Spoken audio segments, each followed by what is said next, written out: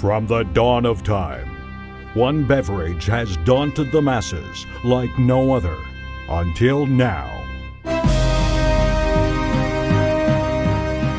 Two men have embarked on a journey of discovery. Gladiators of Inquisition, warriors of wisdom, champions of insight.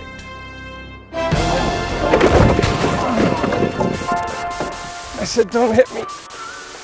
Um, okay, maybe not gladiators, but they are on a mission to learn about wine.